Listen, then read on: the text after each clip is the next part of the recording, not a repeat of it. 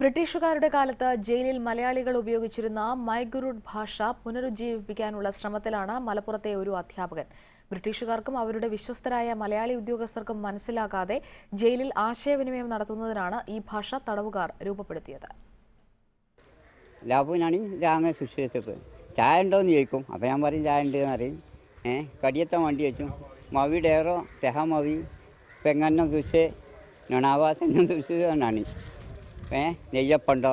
ഏ സുഷ ഉണ്ടുണ്ടോ എല്ലാം മാറി. ഇതാണ് മൈഗുരുടെ ഭാഷയും അതിന്റെ മലയാളം തർജമയും. ബ്രിട്ടീഷുകാർക്കെതിരെയുള്ള മാപ്പിള കലാപകാലത്ത് തടവുകാർ ജയിലിൽ ഉപയോഗിച്ചിരുന്ന ഗൂഢഭാഷയായിരുന്നു മൈഗുരുട്. മലപ്പുറം ജില്ലയിലെ ഇരുമ്പുഴി എടപ്പാൾ എന്നിവിടങ്ങളിൽ ഈ ഭാഷയ്ക്ക് ഇപ്പോഴും ചെറിയ രീതിയിൽ വേരോട്ടമുണ്ട്. മാപ്പിള ലഹളയിൽ പങ്കെടുത്തിരുന്ന പലരെയും ബ്രിട്ടീഷുകാർ ജയിലിലടച്ചപ്പോൾ മലയാളികളായ ജയിൽ വാർഡർമാർക്ക് മനസ്സിലാവാതെ ആശയവിനിമയം നടത്താൻ തടവുകാർ കണ്ടെത്തിയ ഭാഷയാണിത്. ആ ആ ഇ ഈ അം ആ വരെയുള്ള സ്വരാക്ഷരങ്ങളെ സസ സിസി സംസ എന്നുള്ള രീതിയിലാണ് ഉപയോഗിക്കുക. എന്നാൽ ആറ്റ് പകരം സാ ഉപയോഗിക്കും സാറ്റ് പകരം ആ ഉപയോഗിക്കും. കാലഹരണപ്പെട്ടുകൊണ്ടിരിക്കുന്ന മൈഗുരുഡ് ഭാഷ സംരക്ഷിക്കാനാണ് പുതിയ തലമുറയുടെ ശ്രമം. അതിനായി ഈ ഭാഷ അറിയുന്ന എല്ലാവരെയും കണ്ടെത്താനുള്ള ശ്രമത്തിലാണ് ഈ സംഘം. മാണ്ടണിഞ്ഞ മവഞ്ഞണിഞ്ഞ കാറ്ററിയില്ല കടലറിയില്ല ഏഷ്യാനെറ്റ് ന്യൂസ് മലപ്പുറം.